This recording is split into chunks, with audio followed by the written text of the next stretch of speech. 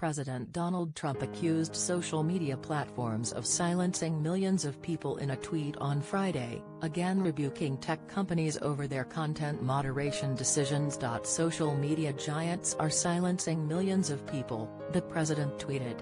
Can't do this even if it means we must continue to hear fake news like CNN, whose ratings have suffered gravely.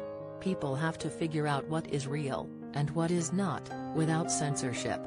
The missive comes amid a bevy of criticism from Republican officials over how social media sites such as Facebook and Twitter have treated conservatives on their platforms. Twitter has come under fire from GOP lawmakers and the president over allegations they have limited the visibility of posts by Republicans online, implementing a so-called shadow ban but the company has denied it filters content on the basis of political viewpoints. Last week, Trump accused tech companies of totally discriminating against Republican-slash-conservative voices, pledging that his administration won't let that happen.